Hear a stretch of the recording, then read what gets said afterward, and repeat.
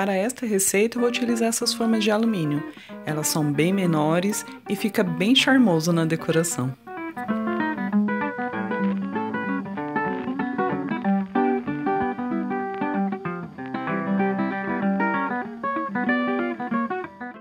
Para assar, fica muito mais fácil dispor nessa outra forma. Eu normalmente já unto todas as formas antes de fazer a receita.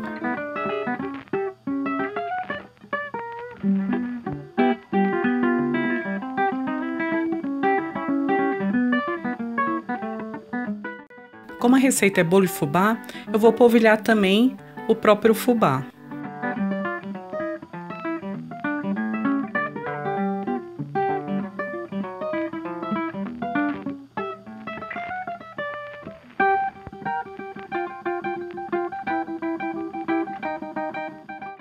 Estão todas untadas aqui.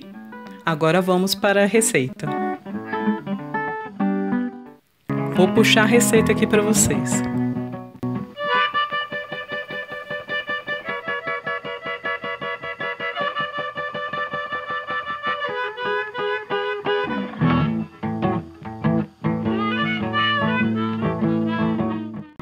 Vou utilizar o liquidificador e os primeiros ingredientes, vou colocar todos que são líquidos. 240 ml de leite, 120 ml de óleo,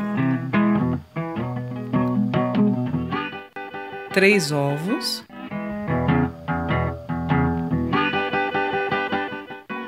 duas xícaras de fubá,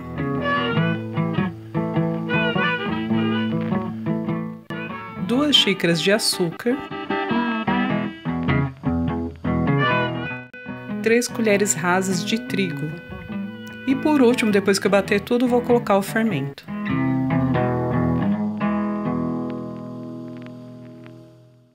Vou dispor a massa nas forminhas e levar ao forno pré-aquecido por meia hora.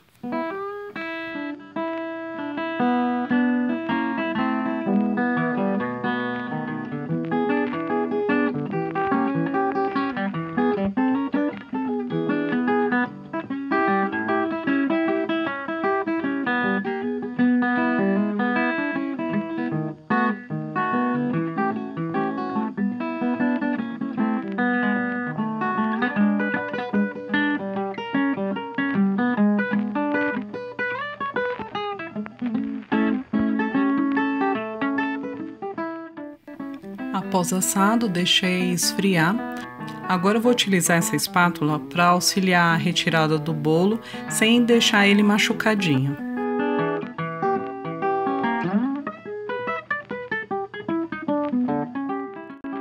Como suporte para o bolinho, eu vou utilizar formas de cupcake, só que o diâmetro dela não encaixa exatamente no bolo, que o bolo é bem maior. Né? Então vou fazer uma dobra nas bordas com o dedo mesmo e assim aumentando o diâmetro das forminhas.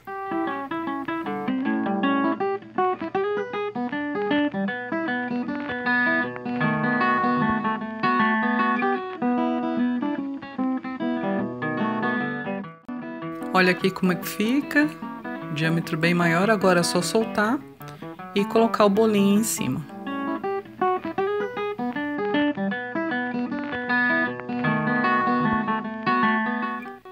Para decorar o bolinho, agora vou incluir somente essas bandeirinhas. E está prontinho.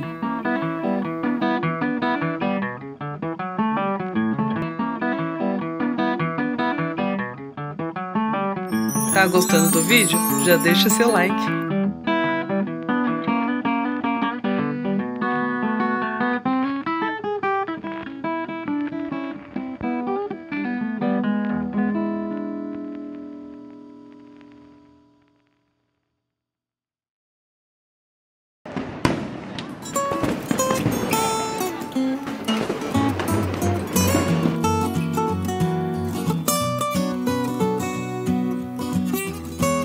Já vou mostrar aqui para vocês os ingredientes para a próxima receita.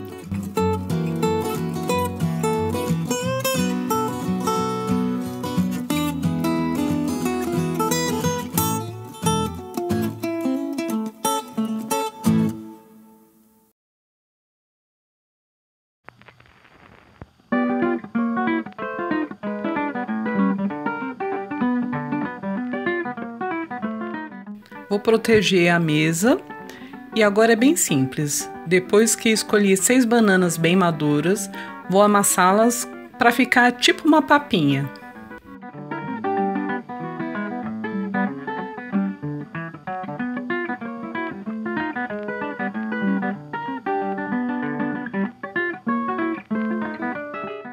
Prontinho, agora vou reservar.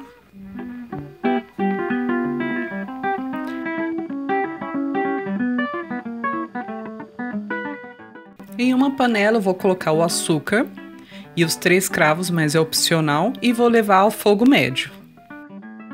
Aqui está, já está em fogo médio, vou começar a mexer.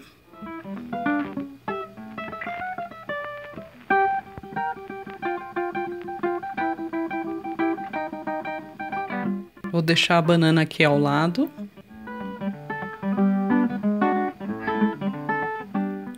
Vou mostrar aqui para vocês. Ele começa a formar alguns pelotes de açúcar mais escurinho. Então continua mexendo até derreter tudo. Olha só como ficou. Já já eu mostro quando tiver um pouco mais derretido.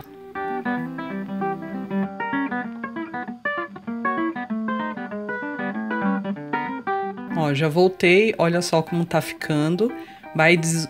Opa, soltou aqui. vai dissolver todos esses granulados de açúcar.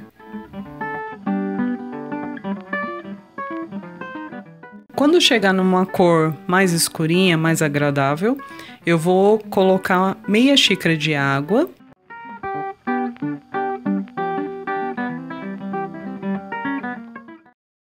Acrescento a banana amassada e vou mexendo até virar uma massa homogênea.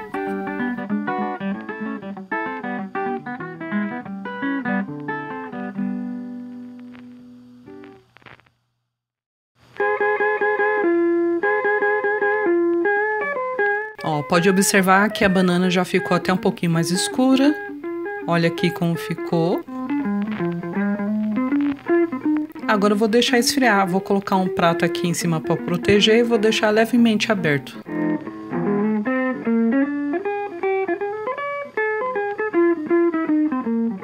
Eu preparei um personalizado bem especial e bem característico para colocar esse doce de banana.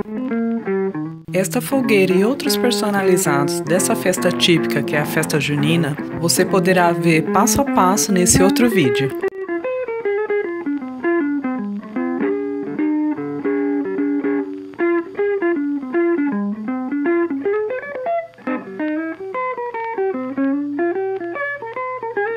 Agora é só colocar o doce aqui e a criança vai ficar mega surpresa quando pegar a fogueirinha e achar o doce de banana.